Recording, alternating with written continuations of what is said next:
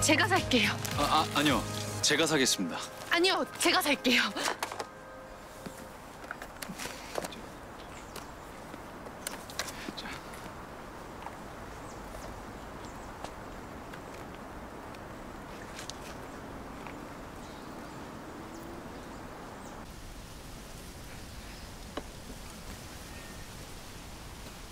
선물 지금 열어봐도 됩니까? 네네. 그거 진짜 별거 아닌데 진짜로.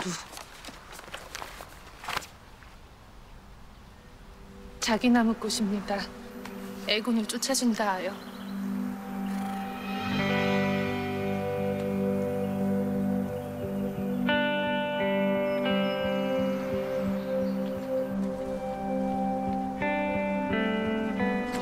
그 허술해 보여도 비싼 유기농 허브가 꽉 차 있어요. 일종의 아로마 테라피니까 그 공황장애 증상에 도움이 될까 하고.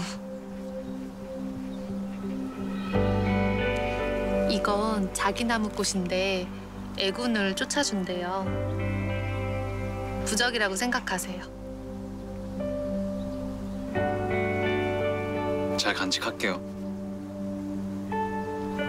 그리고 제 병이 현주 씨 때문이라고 생각하지 않았으면 좋겠어요. 저 때문인 건 사실이잖아요. 빨리 나아야겠네요. 그래야 마음의 짐을 더 쉴 테니까.